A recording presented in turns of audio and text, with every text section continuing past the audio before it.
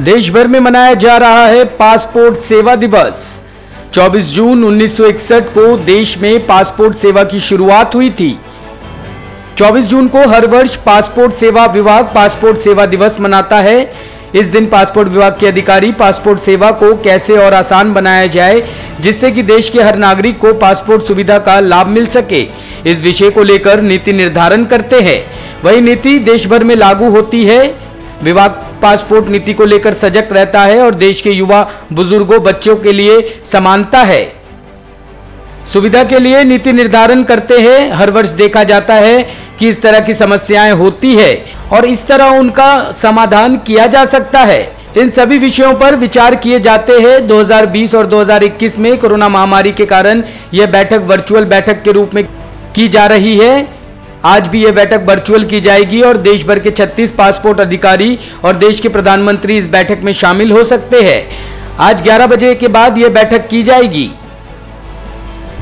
Passport अधिकारी गाजियाबाद सुब्रतो हाजरा ने बताया कि इस बार यह बैठक वर्चुअल तरीके से की जाएगी और देश भर के 36 पासपोर्ट अधिकारी इस बैठक में हिस्सा लेंगे। वहीं आम जनता को आसानी से पासपोर्ट उपलब्ध हो सके, ऐसी नीतियाँ बनाई जा रही है, जिसके चलते गाजियाबाद जनपद के अंतर्गत आने वाले 14 जनपदों में से 11 जनपदों में पासपोर्ट सेवा कार्यालय और पोस्ट ऑफ़िस के बीच अनुबंध किया गया है। इससे उन जनपदों के निवासियों को पासपोर्ट सेवा के लिए गाजियाबाद नहीं आना होगा। विशेष कारणों में ही यहाँ पर आकर अपना पासपोर्ट प्रक्रिया पूरी करनी होगी। पासपोर्ट प्राप्त करना इस समय बहुत आसान हो चुका है। घर बैठे ही पासपोर्ट की प्रक्रिया आसानी से पूरी की जा सकती है, जो कि बेहद आसान प्रक्रिया है, जिसके बाद आपका पासपोर्ट आपके घर पहुँच जाएगा। ये पासपोर्ट दिवस 24 जून हर साल मनाया जाता है, क्योंकि 24 जून उन्नीस सौ सड़सठ में हमारा पासपोर्ट जो एक्ट है, ये पारित हुआ था। उसको सेलिब्रेट किया जाता है एज पासपोर्ट डे और इसमें 36 जो पासपोर्ट ऑफिसर्स हैं उनको एड्रेस करते हैं हमारे माननीय मिनिस्टर एक्सटर्नल अफेयर्स के मंत्री साहब एम साहब, हमारे चीफ पासपोर्ट ऑफिसर और अन्य सेक्रेटरी साहब वो रहते हैं और वो एड्रेस करते हैं छत्तीस पासपोर्ट ऑफिसर्स को।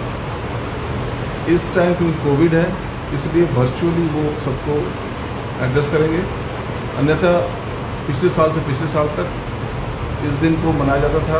सारे पासपोर्ट ऑफिसर्स अपने अपने राज्यों से वहाँ पहुँचते थे और वहाँ पर मिनिस्टर साहब ऑनरेबल मिनिस्टर साहब एड्रेस करने के बाद फोरम खुलता था, जहाँ पे पॉलिसी पर काफ़ी चर्चाएँ होती थी, या किस तरह की दिक्कतें या सुविधाएँ हम बेटर दे सकते सर्विस को कैसे बेटर कर सकते पासपोर्ट सेवा को, उस पर चर्चा होती है और पासपोर्ट ऑफिसर से फीडबैक लिया जाता है। उसको कहते हैं ब्रेन स्टॉमिंग सेशन हुआ करता था।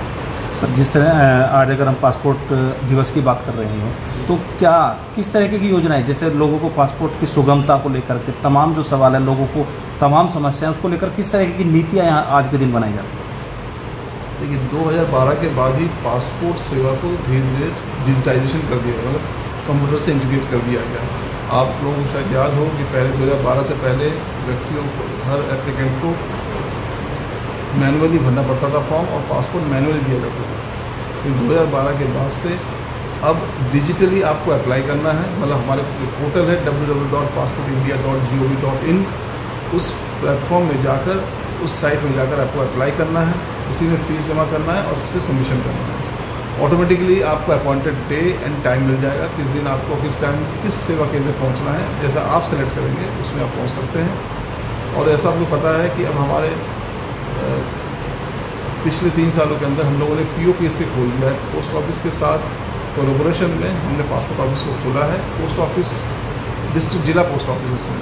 ज़्यादा जगह जिला पोस्ट ऑफ़िस है, एक दो जगह हो सकता है नॉर्मल पोस्ट ऑफ़िस हैं जो जगह स्पेस का भाव रहा होगा। वहाँ पे अब ताकि सरकार की कोशिश रही है लगातार कि इस पासपोर्ट को कैसे सुगम किया जाए, कैसे और आसानी से लोगों तक पहुँचाया जा सके। इसको ध्यान और लोगों को बहुत ज़्यादा ट्रैवल नहीं करना पड़ेगा, क्योंकि पासपोर्ट सेवा पासपोर्ट के ऑफ़िस गाजियाबाद के अंदर कुल मिलाकर तेरह ज़िले तो ये कोशिश किया जा रहा था कि ये तेरह ज़िले जो काफ़ी दूर तक फैले हुए हैं, विस्तृत हैं। अलीगढ़, मुजफ्फरनगर तक, शामली तक इधर तक, आगरा, मथुरा, वृंदावन, मथुरा।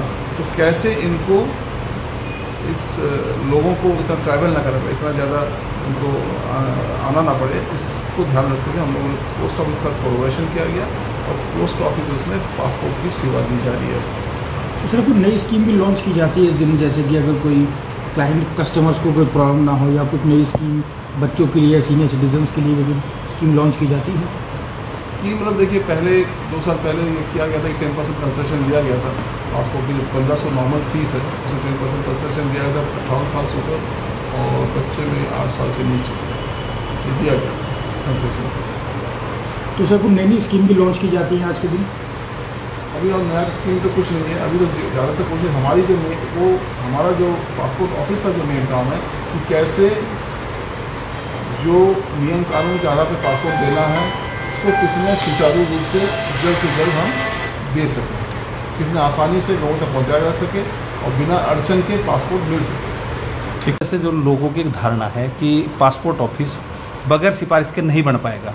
लोग सिफारिश ढूंढते हैं उसको लेकर आप किस तरह का संदेश या बताएँगे कि किस तरह बन सकता है आम, आम भाषा में? पहली बात तो मैं ये कहूँगा हम बार बार न्यूज़पेपर में भी निकालते हैं कि आपको किसी भी गलत इंसान के पास आने के पास पासपोर्ट बनाने के लिए अप्रोच करने की ज़रूरत है ही नहीं।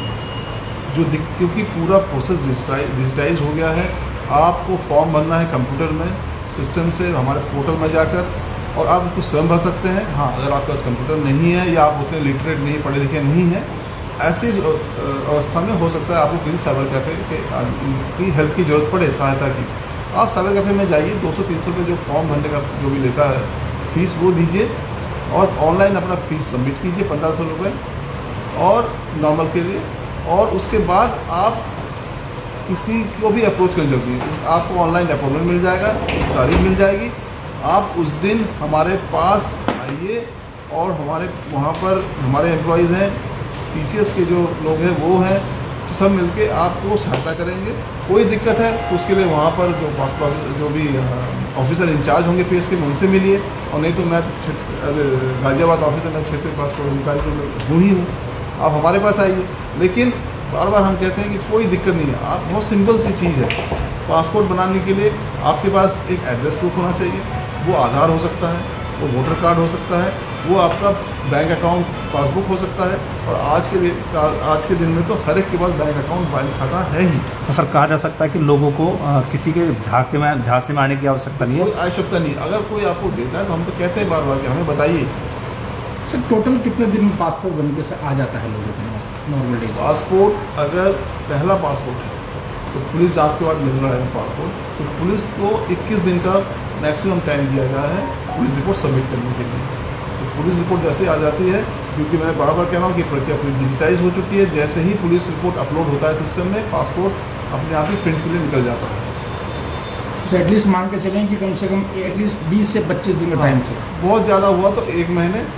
और हमने देखा है कुछ केसेस में तो जहाँ लोग जल्दी रिपोर्ट पुलिस रिपोर्ट हो रही है वहाँ पे सत्रह अठारह दिन में मिल जाता है।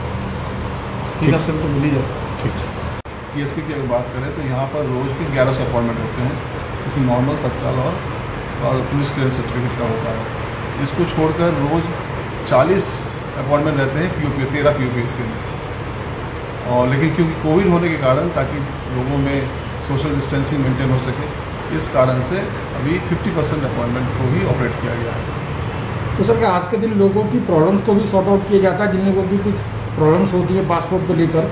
बिल्कुल देखिए स्वाभाविक है कि सबका पासपोर्ट प्रोसेसिंग एक दिन में नहीं हो रहा होगा कुछ लोगों का कुछ ना किसी की कमी रहती है जिसका अटक जाता है। किसी का कोर्ट केस चल सकता है, किसी का अडप्शन हो सकता है, या कोई मैरिटल डिस्प्यूट चल रहा हो जिनके बच्चों का रुक गया हो।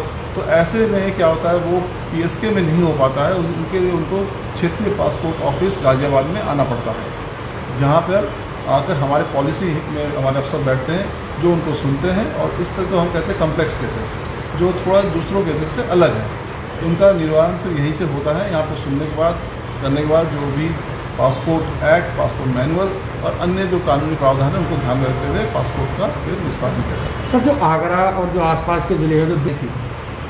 कोशिश तो यही रहती है कि ज़्यादातर केसों में फ़र्स्ट टाइम जब वो आए उसका केस प्रोसेस हो जाए उसका घर जाए उनको पासपोर्ट मिल जाए और जैसे मैंने बताया, किसी का कोर्ट केस हो सकता है या किसी ने इन्फॉर्मेशन सप्रेशन किया हो इन्फॉर्मेशन छुपाया हो, कई बार ऐसा भी देखा जाता है पासपोर्ट मिला हुआ पहले का बताना भूल गए हैं या जानबूझ के छुपा दिए गए हैं।